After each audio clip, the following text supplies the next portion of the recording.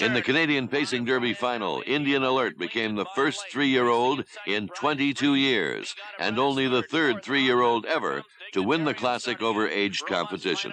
The final mile was in 156 and 2. Half a mile in 59 and 1. In the backstretch, Indian Alert by a length. Second up the rail, Brian's Breeze. Driving up on the outside now, Dignitarian is second, and he moves up the challenge. Indian Alert for the lead.